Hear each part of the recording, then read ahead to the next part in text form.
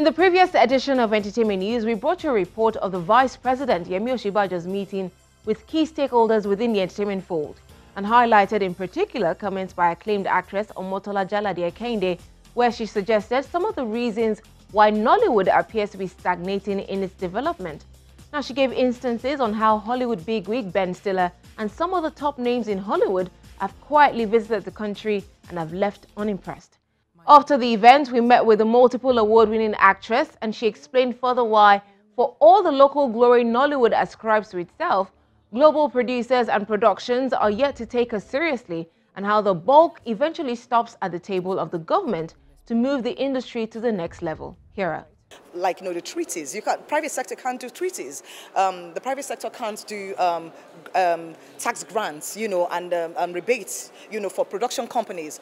When a Universal wants to come to Nigeria, they, they won't deal with the private sector. They'll deal with the government.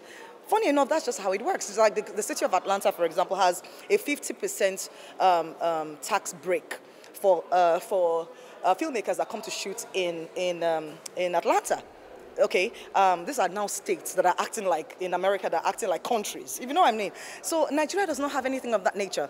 So filmmakers are looking at their at, their uh, production companies and the opportunities are um, uh, given to them all around the world. They're looking at India.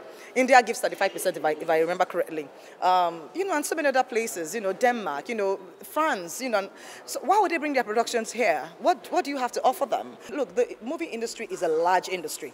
You're going to be moving as many, a, a very serious production moves as many as 200 people. And they come in and they find out that at the end of the day, someone is asking them for bribes. They're thinking already, of all the people they're bringing. There's security concerns. Um, there's no power. You know, I mean, they're coming with grids, they're coming with lights, you know, and all of that stuff. Um, we as Nollywood people, we're still shooting on the streets and area boys are disturbing us. Lagos State is known for area boys um, that are practically political talks. We're not serious. We're not ready. You know, so he said that he said um, countries like India and all of that don't have everything, and yet, you know, but they have enough. That's the point. We don't have to have everything. We have to have enough to attract international investment.